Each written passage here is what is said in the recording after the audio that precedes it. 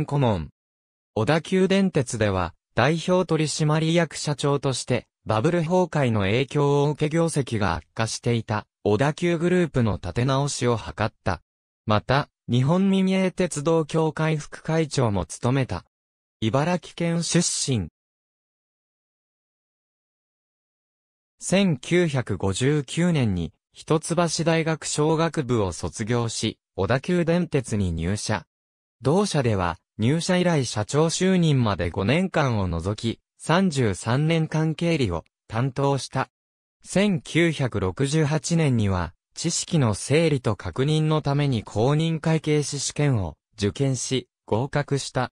1975年に突如腹痛が生じたため、救急車で病院に搬送されたものの、盲腸との診断は出ず、一旦帰宅した。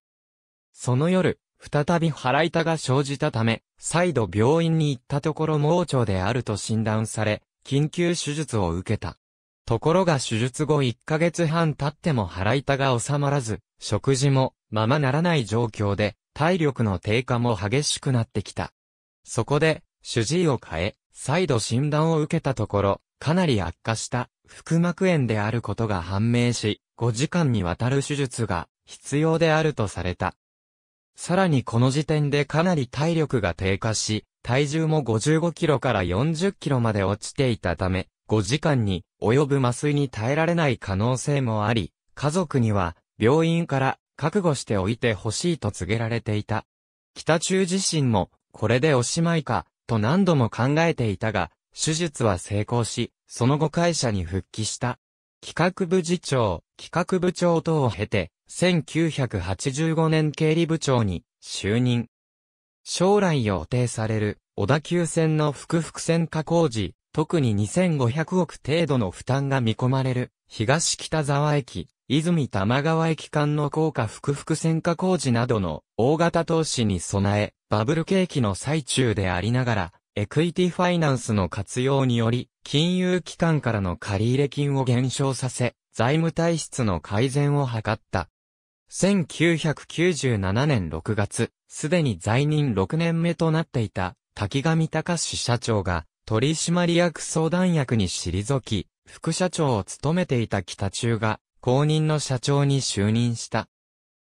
社長就任後は、バブル崩壊の影響から、業績悪化に陥っていた小田急グループのリストラとして、1998年2月、東海自動車再編計画策定、同年3月小田急課長山脈閉園、同年12月ホテル小田急再建計画策定、1999年3月女子、バレーボールチーム小田急ジュノーキューブ、同年9月小田急御殿場ファミリーランド閉園、2000年9月、久沼プールガーデン閉園、2001年2月小田急、向ヶ丘遊園モノレール線、廃止、2002年3月向ヶ丘遊園、閉園などが次々と実行され、三大懸案とされていた百貨店事業、ホテル事業、バス事業についても、百貨店事業のスリム化、バス事業の分社化などがなされ、リストラに一応の目処がついた。グループのリストラの一方、沿線価値の向上のための海老名駅前の大規模、再開発事業、複々線化による、時間短縮による他路線との競争力強化などにも取り組んだ。在任6年を迎えた2003年に社長を退任し、取締役相談役に就任した。